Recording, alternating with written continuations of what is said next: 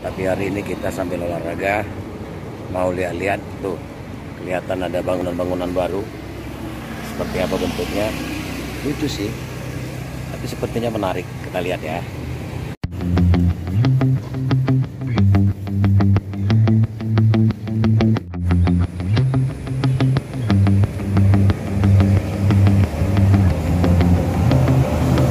Ini coba kita lihat bangunan yang sedang in progress jadi ini ada jendela. Ada lampu di situ. Nah ini ada juga ada akses juga. Mungkin kaca kali ya. Karena pintunya ada di sini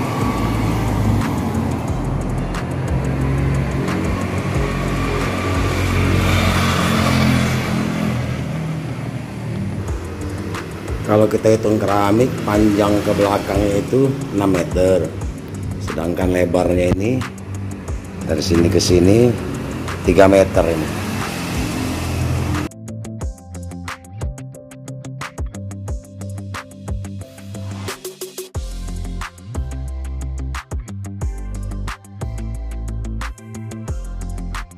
Oh masih besar ini itu satu dua mungkin ada sekitar 4 meter lah. Sementara lebarnya ini ada 7 meter. Ini ada tempat air. Nah ada pojokan juga di sini. Jadi kalau mau direnov ini tinggal nyambung ini. Enak ini ngerenovnya ini. Gampang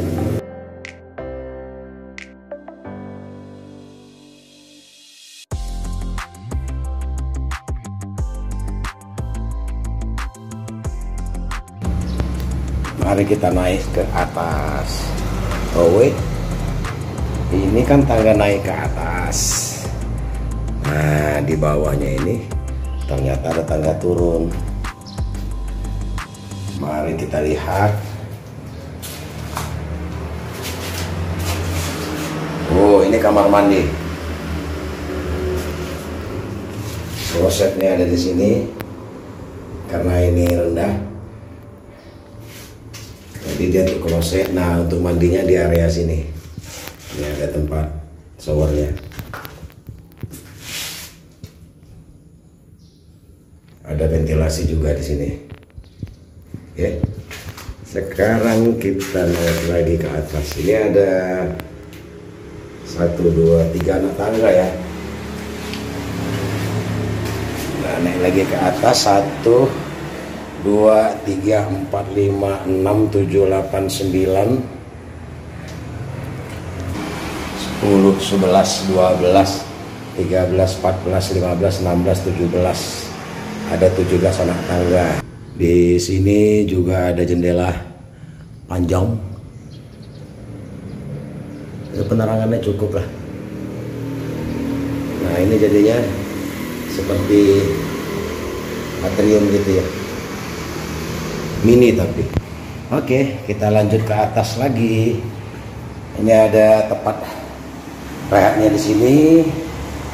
Nih. Tuh ya tangganya.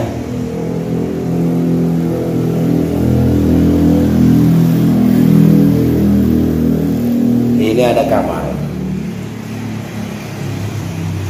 Kamar langsung menghadap danau. Wih ini dia keren ini. Bisa ngeliat waterpark wah cakep banget ini.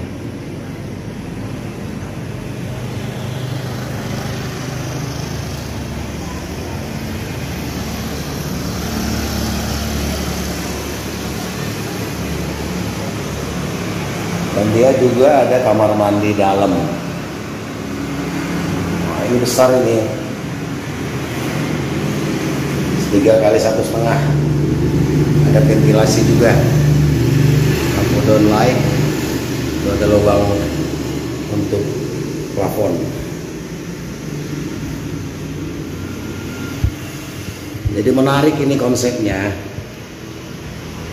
Satu kamar utama di atas dan kita akan lihat kamar yang satunya di bawah nah ini dia kamar untuk anaknya. Dua setengah kali berapa ini ya? Satu dua tiga. Ya dua setengah kali dua setengah. Cukup lah untuk kamar anak. Dia juga punya kaca lebar ini. Dan di depannya juga ada teras samping